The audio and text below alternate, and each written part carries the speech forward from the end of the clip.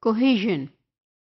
Sometimes such writings where we have argumentative type of text or where we have discussions, we need to look at the factor of cohesion and coherence.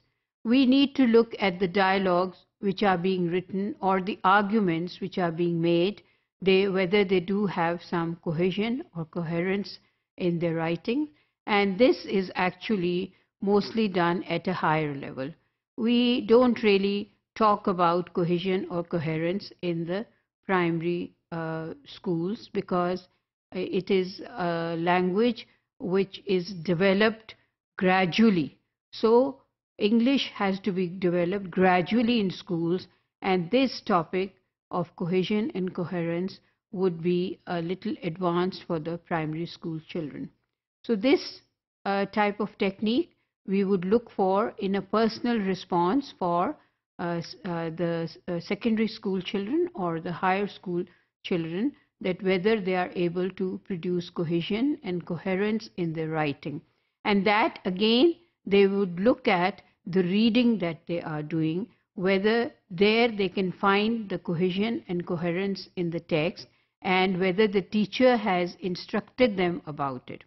This is a bit of a difficult task for the teachers, I do understand, because it is more on the advanced level. But I just wanted to mention this one as well because it is an important part of the reading and writing process.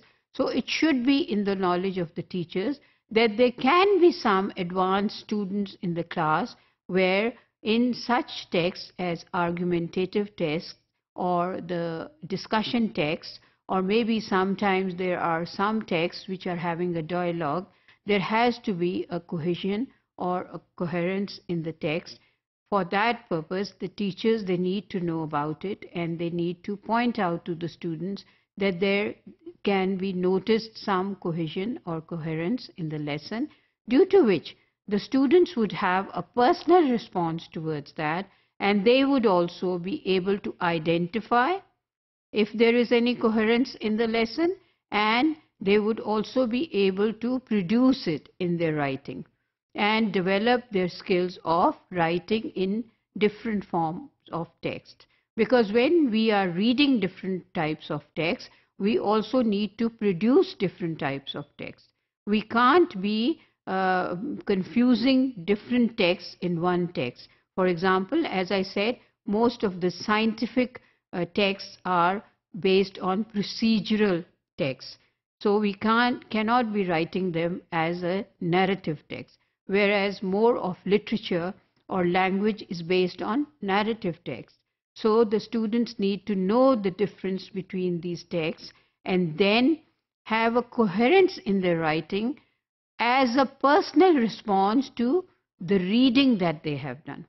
Until and unless they are aware of these features in their reading exercises or in their reading examinations, they would not be able to produce it as a, a, productive skill in their writing forms. So in order to, I repeat always that in order to uh, produce good writing, you need to do good reading.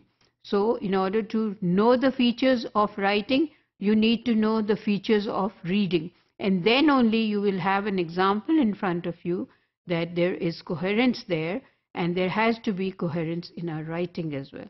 So all these things are noticeable as features when you are reading a text. And it is the job of the teacher.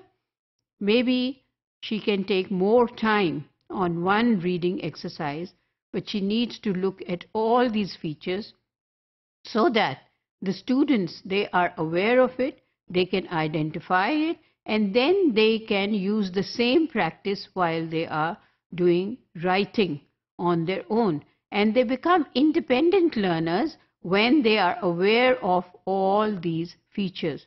While they are aware of these features, that means that they are being uh, skilled in that particular skill and they have a personal response towards that and thus they become independent learners.